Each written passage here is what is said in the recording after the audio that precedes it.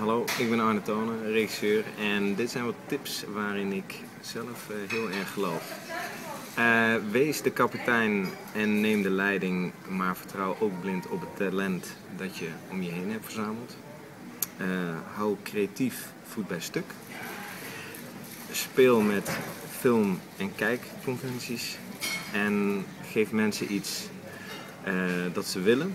Geef de kijker iets dat ze willen, maar niet wat ze verwachten. Maak mooie dingen.